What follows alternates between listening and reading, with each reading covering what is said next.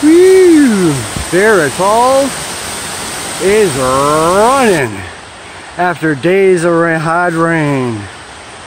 Hope I'll be able to get across up top. Second Cascade series. Pounding like the first.